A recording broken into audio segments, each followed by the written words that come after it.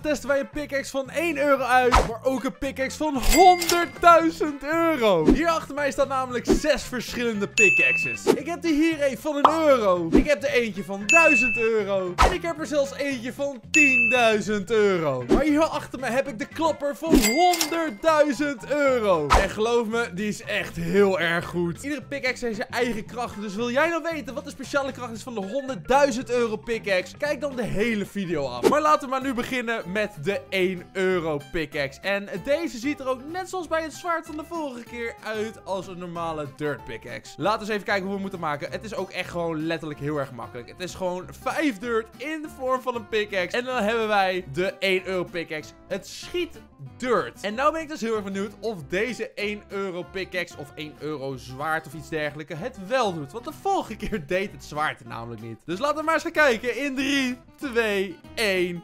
En deze doet het ook al niet. Ja, deze doet het dus ook weer niet. Misschien als ik een dirt blokje in mijn handen hou, dat ik misschien af kan schieten. Oké, dat kan wel. Hij doet het tenminste wel. Maar ik moet wel dus dirt blokjes hebben. Nemen we dit even mee. Niemand kijkt er toch naar om. En we hebben de pickaxe in principe al gemaakt. Maar ja, zo goed is nou ook weer niet. Want ik hoef alleen maar te schieten. En eh, ik plaats letterlijk gewoon maar een dirt blokje neer. En ik denk ook niet dat deze pickaxe heel erg goed is in mine. Dus ja, nogmaals, dit is een euro pickaxe. En ja, ja, dit, dit gaat niet. Het gaat best wel snel, maar niet heel erg snel. Ja, en verder, anders dan dat, kan ik alleen maar, ja, dirt mee schieten. Oké, dit ding is echt waarloos. Maar ja, het is ook meteen het goedkoopste pickaxe. Dus ja, ik had niet anders verwacht. Als volgende hebben wij de 100 euro pickaxe. En deze ziet er al best wel wat beter uit. Eens even kijken wat we moeten doen. We hebben twee sticks nodig. Een iron blok, een coal blokje en een normaal steenblokje. Is best wel een dure pickaxe, al vraag je het aan mij hoor. Of ik, als, ik, als ik hem zo zou moeten maken. Nou ja, laten we maar eens even kijken wat we mee kunnen doen. Want volgens mij is de speciale kracht van deze pickaxe dat ik namelijk alle ores kan smelten. Dus dan hebben we het over iron. Dan hebben we het over coal. Dan hebben we het over aluminium. Trouwens, coal kan helemaal niet. Ik heb het alleen maar over iron, aluminium of gold. En ik zou dus alles meteen moeten kunnen hakken. Nou hebben we hier aluminium. Kijk, dat komt heel erg goed uit. Want ik zie nergens iets anders. En dit is volgens mij niet meteen gesmolten. Nee, sterker nog, dit is koper. Waar heb ik het nou over? Aluminium? Ja, dit, dit, dit doet het niet. Ik dacht oprecht dat we koper ook konden doen. Volgens mij. Oh, we hebben hier iron. We kunnen meteen hierop uittesten. Eens even kijken. Oh mijn god, het werkt ook gewoon nog. Ik heb meteen een iron nugget. Hoe chill is dit? Een iron nugget. Ik bedoel natuurlijk een iron ingot. Maar deze pickaxe is dus super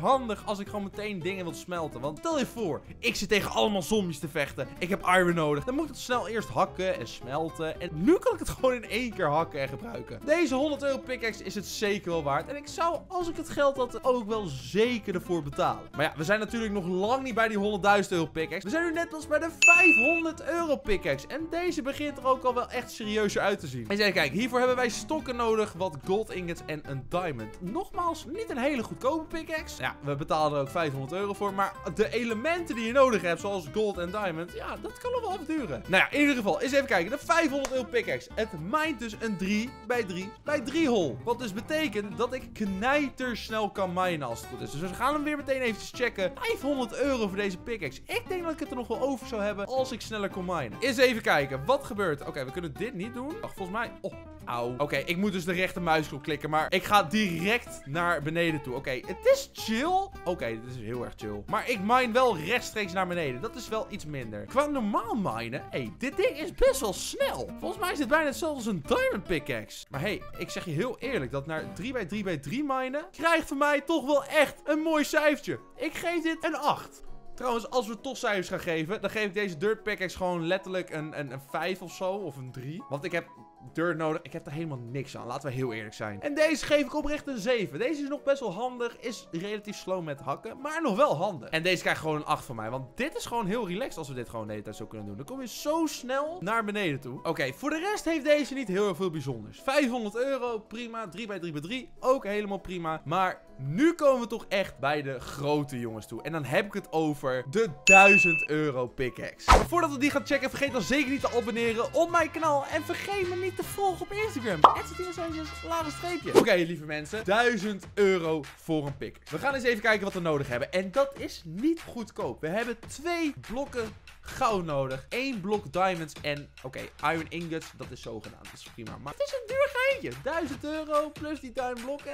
Eh, ik weet nog net zo niet. Eens even kijken. Wat hebben wij hier zo? De 1000 euro pickaxe is een chunk miner. Oké, dit ding is serieus. Als jullie weten wat een chunk is, dat is letterlijk volgens mij een gebied van 24 bij 24 of zo. Als we dat in één keer weg kunnen minen, zijn we gewoon in één keer binnen. Dus ik ga eventjes wat afstand nemen. Ik denk dat ik gewoon hier ga beginnen met graven. In 3, 2, 1, go, go. Hij, oh mijn god, hij, hij heeft letterlijk onder ons weggemined. Oké, dit is wel heel sick. Oké, we kunnen dus naar beneden toe, want oh mijn god. Het houdt ook gewoon alle mineralen zo veilig. Oh mijn god, we hebben een... Zo, we hebben even een dik ravijn onder ons, zeg. Oh mijn god. Oké, het mined dus niet de iron, de coal die we hier hebben. En oké, ja, het, het, wel echt... Oh nee, ik ga dood. Ik ga dood. Ik ben dood. Ja, dit is best wel een serieuze pickaxe. Je kan zomaar in één keer dus doodvallen. Dat is niet heel erg chill. Tenminste, dat was mijn eigen schuld. Dat was echt, echt een hele domme eigen schuld. Maar voor de rest is deze pickaxe wel echt super relaxed. Want auw, auw. Oké, skeleton, ga weg, ga weg, ga weg. Weet je wat? Ik laat je naar beneden vallen. Hier, hoppa. Ga maar naar beneden. Inderdaad, ja, hoppa. hey, ik zeg jullie eerlijk, lieve mensen. Deze pickaxe is wel echt extreem handig. Want niet alleen gaat hij de oors gewoon niet wegminen. Je mindt gewoon in één keer zo één klap weg. Waardoor je naar beneden bent. En zo voor de diamonds gaan gaan hakken. Deze pickaxe krijgt voor mij ook echt een 8,5. Want ik vind dit echt super handig om te doen. En het duurt mij altijd veel te lang voordat ik helemaal naar beneden ben. En er zijn, lieve mensen, de pickaxe van 5000 euro. Dit ding lijkt helemaal van massief diamond. Het ziet echt super dik uit. Ik heb er ook best wel wat voor nodig. 3 diamond blocks en 2 gold blocks. Dat is uh, niet goedkoop. Eens even kijken. De 5000 euro pickaxe. Turns ores into blocks. Oftewel, alle ores die ik hak veranderen schijnbaar in blokken meteen. Kijk, dat is heel erg handig. Want wij gaan nu dus eventjes naar beneden toe waar wij net uitkwamen. En daar zag ik een paar oors liggen. Alleen moet wel even kijken waar ik moet zijn. Weet je wat? We gaan gewoon meteen weer een nieuw gat. Zo, hoppa. Dan gaan we hier naar beneden. Kijk, we hebben meteen kool. Als het goed is, als ik dus hier rechter muisknop op klik, krijg ik meteen blokken kool. Ik ben benieuwd. 3, 2, 1. Oh, zelfs blokken iron. Oh mijn god, dit is echt een super handige pickaxe. Maat, dit is, dit is een hack. Dit is letterlijk een hack. Oké, wacht, we gaan nog even meer kijken. Hoppa, lapis lazuli blokken. Oh, au, au, Kool blokken weer erbij. Iron blok, ik hoorde een creeper. Oké, ik ben nog veilig. Hier, oh mijn. Jongens, dit is toch geweldig. Besef als je diamonds vindt en je drukt hiermee op je rechtermuisknop, dan heb je meteen een diamond blok. Oké, deze pickaxe is letterlijk een hack. Ik ga deze ook gewoon letterlijk een 9 geven. Hij is nog niet helemaal perfect, maar een 9 vind ik best wel dicht bij perfectie. Volgens mij zijn het niet eens iron blokken. Ja, dit zijn blokken koper. En ze zien er wel dik uit. Ik zou ze oprecht gebruiken voor decoratie. Oké, lieve mensen, we zijn dus bij de één na laatste aangekomen. De pickaxe van maar liefst 10.000 euro. Ik ben oprecht benieuwd. Ik zou nooit, nooit, nooit 10.000 euro neerleggen voor een pickaxe. Ik ben... Oh mijn god, het kost ook superveel. 3 Asian Debris. En oké, die, die blokken boeien niet meer vergeleken met de Asian Debris. En Netherrack. Oké, die nemen we ook mee. En dan gaan we meteen de pickaxe van maar liefst 10 1000 euro maken. Zijn jullie er klaar voor? Ik wel in ieder geval. Hoppa. En we hebben hem. 10.000 euro pickaxe. Het schiet netherrack. En het geeft mij fire resistance. Oké, dit is een hele, hele interessante pickaxe. Want ik kan dus letterlijk gewoon netherrack schieten. Oké, ik ben heel erg benieuwd. Kom maar. Beam. Oh mijn god. Ik schiet niet alleen netherrack. Ik schiet letterlijk bliksem uit een pickaxe. Dit ding is super vet. Ik krijg allemaal maar de schompers. Hier, varken. Ik zie daar een varken. Oké, die gaat ook... Ja, die heeft het niet overleefd. Oké, dit ding is ziek overpowered. Maar volgens mij is dit ook gewoon letterlijk het enige wat deze pickaxe kan. En als ik het moet vergelijken met een chunk miner... Of zelfs een pickaxe die gewoon hele blokken kan maken van ores... Dan is dit niet zo heel erg speciaal, eerlijk gezegd. Ja, oké, ik krijg fire resistance. En oké, ik kan bliksem schieten. Ja, super leuk natuurlijk. Het brengt wel heel erg veel destructie trouwens met zich mee. Dit ding, oké, dit ding is best wel lijp. Ik ga je heel, ik, ik, ga niet, ik ga niet voor je liegen. Maar zou ik hier 10.000 euro voor neerleggen? Ik denk het niet. Dan heb ik nog liever de hamer van Thor, denk ik. Desalniettemin geef ik deze pickaxe denk ik toch wel een 8. Waarom? Hij hakt snel en, oké, laten we heel zijn. Nogmaals, de bliksem is wel leuk. Maar 10.000 euro hiervoor neerleggen? Nee, no way, nooit niet. En dan zijn we toch echt aangebroken bij de allerlaatste pickaxe. De pickaxe van maar liefst 100.000 euro. En deze ga ik wel heel voorzichtig maken. Ik pak hier namelijk mijn armor. Want je weet maar nooit met een 100.000 euro pickaxe. De vorige keer namelijk met het 100.000 euro zwaard. Dat was ook best wel foute boel. Dat ding was super sterk. Dus ik heb mijn netherite armor aangedaan. En we gaan maar kijken. Ik heb een drakenei nodig. Bro, een drakenei. Twee Asian debris. Een diamond block.